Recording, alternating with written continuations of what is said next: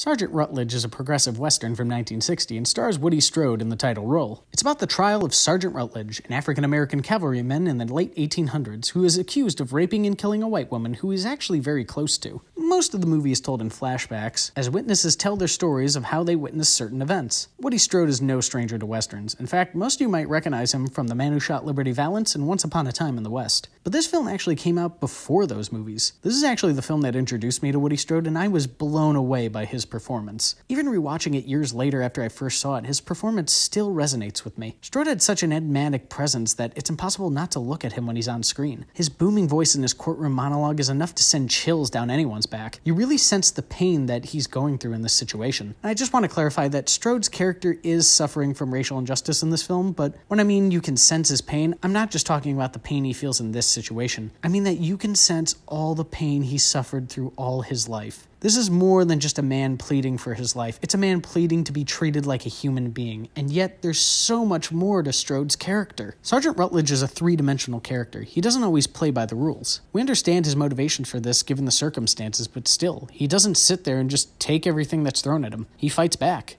Even though he claims he's innocent, he knows that the people who will run his trial will be against him in more than one way. He means business and he's hell bent on not being taken in. I also have to highlight Jeffrey Hunter and Constance Towers. Both give very good performances. They have wonderful character arcs that examine different types of prejudice people can have. Their characters are friendly reminders that anyone can change if you just listen to all the points in a conflict. Oh, and Juano Hernandez isn't here. Yeah, he's shown up three times during this. I didn't even plan on it. I didn't even realize he was in this. And I've seen this film many times. His thick beard makes him look different than usual, so that doesn't help either. I love the color cinematography in this. It looks so crisp and pristine. I also love the night scenes. They're so beautifully unsettling to stare at. The atmosphere these scenes generate is so great. Makes me wish that there were more scenes like this in the movie. Oh, and did I forget to mention that this was a John Ford film? Yes, the king of Hollywood westerns directed this film. Given that Ford is responsible for making some of the greatest westerns ever made, it's easy to see how this one got lost in his filmography. I mean, come on, Ford's made Stagecoach, Fort Apache, She Wore a Yellow Ribbon, My Darling Clementine, The Man Who Shot Liberty Valance, and The Searchers. And there are still a ton of other westerns that I haven't mentioned that his name's attached to. So if you're a John Ford fan, this is mandatory viewing. If you want to see a powerful western that delves into the injustices of racial inequality, or you want to see a masterful performance by an African American actor from the golden age of Hollywood, I highly recommend this film.